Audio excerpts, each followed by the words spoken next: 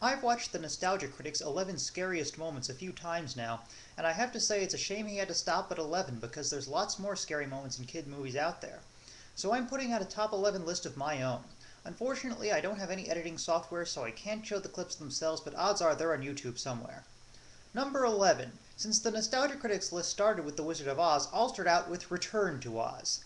This may have the longest gap from original film to sequel in movie history as it was released in 1985, 46 years after the original film's release in 1939. Eat your heart out, Psycho 2. The film is best known today for the casting of Fairuza Balk as Dorothy, but for anyone who had the misfortune to see it as a kid, odds are what sticks out the most in your memory is the Wheelers. The flying monkeys from the first film were replaced by guys with wheels in place of their hands and feet, kind of like if the Mulefa from His Dark Materials were complete psychopaths. The insane giggling didn't help either. Number 10, E.T. being defibrillated. E.T. was the first movie I ever saw on one of those green VHS tapes. I got to, so upset my parents actually had to stop the tape the first couple times and wait a day before I actually was able to watch the whole way through. The hardest scene to get through is when E.T. is dying and they pull out those defibrillators that cause his body to jump a foot in the air. Today I realize that those doctors are trying to save his life with those things, but just try explaining that to a four-year-old who's been suspicious of these scientists since minute one of the movie. It's all capped off by part of what is still Drew Barrymore's greatest performance as she falls apart having just as little idea of what's happening as the rest of us kids. Number 9. The Trash Compactor in Star Wars. Unlike most scenes of this type, it isn't the compacting itself that's the scariest part. That would go to the monster that's inside the compactor with the heroes. First an eyeball and a stalk pops up, then Luke gets pulled under, under only to come back to the surface with a giant tentacle wrapped around him. Much like the mechanical shark in Jaws, the prop of this critter didn't work very well, forcing George Lucas to show it only in bits and pieces. And just like Jaws, that ended up making it much scarier. Number 8, Jumanji, and that's all I have to say. Like lots of other kids, I love the Chris Van Allsburg book about a board game whose jungle setting is brought in more into the real world with every move the players make. The movie takes that premise and turns it into a non-stop nightmare fuel. Sadistic monkeys, plants that shoot poisonous darts, one of the heroes slowly turning into a monkey, giant spiders, and finally everything getting sucked back into the game, with a couple seconds of Jonathan Hyde's head getting stuck with his eyes bulging out. I should note that absolutely none of this is in the book. You're messed up, Robin Williams. Number 7. The Queen's Robots in Mirror Mask. The protagonist, Helena, is captured by the evil Dark Queen whose own daughter has run away, so she decides to make Helena into a replacement and sends her into a room with a bunch of CGI robots with realistic skin over not so realistic bodies, and mouths glued to their faces as well. These freaks proceed to hypnotize our heroine and make her over into a copy of the Queen's goth daughter, all while singing Close to You by the Carpenters. Need I go on? Number 6. The Giant Mouse of Minsk from An American Tail.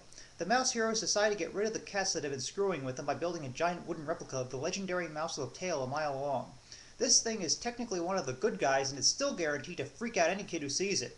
But what makes it even worse is that this sequence was done by rotoscoping, which means there was a real model that the animation was drawn over, and the giant mouse of Minsk may be out there even now waiting to kill us all.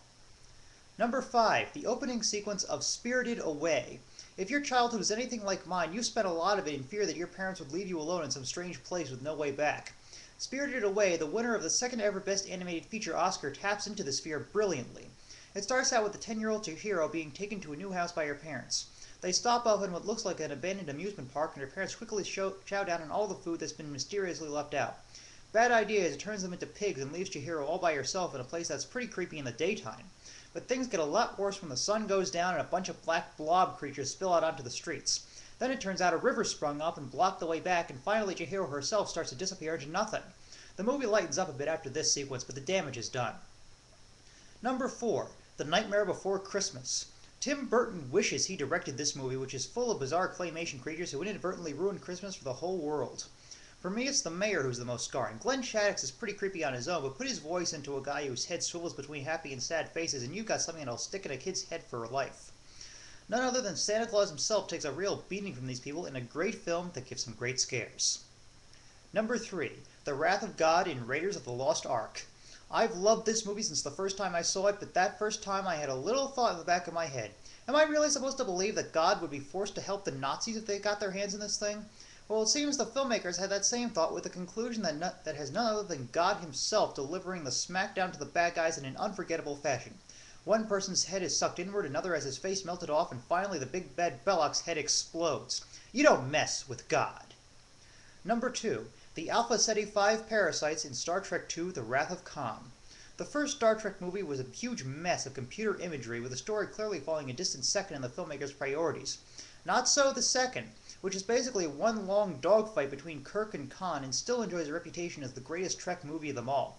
I prefer number 6 myself, but this is still a great film with one incredibly scary scene. Chekov and Paul Winfield are captured by Khan, who forces this half scorpion, half scarab critters into their ears so he can control them. The catchphrase back in the 60s was that if kids really wanted to get freaked out, Brits had Doctor Who and Americans had Star Trek. Nice to see that legacy live on into the films. So are you ready for number one? You might want to give a preemptive shutter for this one. The Fire Gang from Labyrinth. Labyrinth is chock full of cool and creepy stuff, not the least of which is David Bowie in full Ziggy Stardust mode as the villain. But easily the worst of it is the Fire Gang, demented puppets that look like a cross between Big Bird and flamingos, and who can gleefully sing about how much fun they're having removing their body parts. During this sequence, you're constantly thinking it can't get any worse, and then it does. One guy throwing his hand into the fire, another sticking his eyes and his fingers, all of them juggling their heads around, and finally they all gather around Jennifer Connelly and try to rip her limb from limb. I, she was only 15 when this film was made, and I really feel sorry for her having to see those things up close for what had to be a pretty long shoot. The primitive blue screen effects just make the whole thing even creepier now. So those are the moments that most scared me as a kid, or I could imagine scaring me if I was still a kid. Anyone else, feel free to post your own.